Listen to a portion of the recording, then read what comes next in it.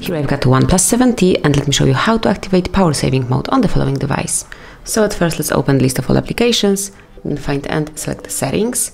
Here you should find and locate battery. Here go to battery saver and now you can smoothly turn it on by tapping on turn on now.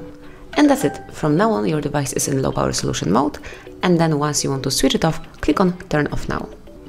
You can also schedule your battery saver, just click on set a schedule and it can be based on percentage, click here and select the percentage level. So let me pick 15%. So from now on, every time the battery is slower than 15%, power saving mode will be automatically activated.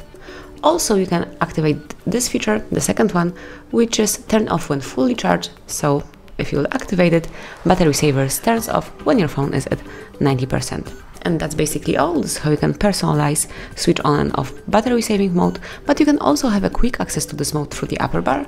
Simply slide it down, locate power saving mode icon, here it is, just click on battery saver and that's it. As you can see, now it's active. Then you can switch it off the same way smoothly by tapping here. And that's basically all. This is how you can use your power saving mode. Thank you for watching. Please subscribe our channel and leave the thumbs up.